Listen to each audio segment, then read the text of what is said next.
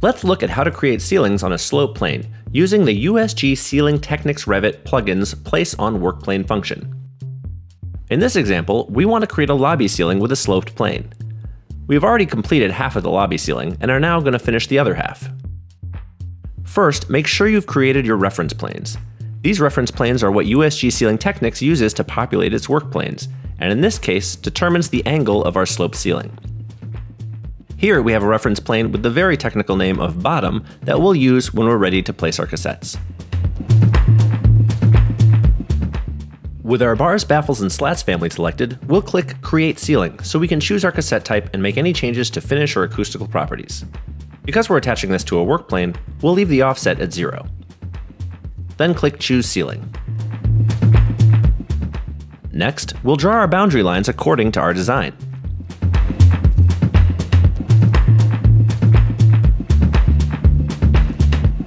Click the green checkmark. And we're ready to place our first cassette, which is also our anchor component.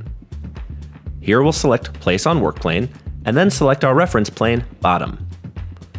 Now we're ready to place our anchor component. The first cassette will dictate where the pattern and array starts from. In this case, we're going to start here to line them up with the existing ceiling cassettes.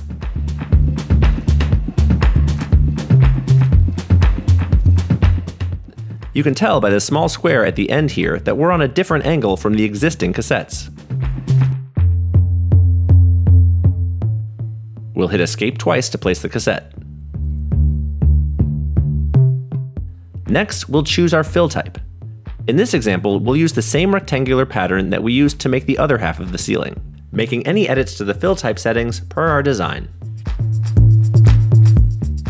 Then we'll hit Generate Ceiling and let the plugin work its magic.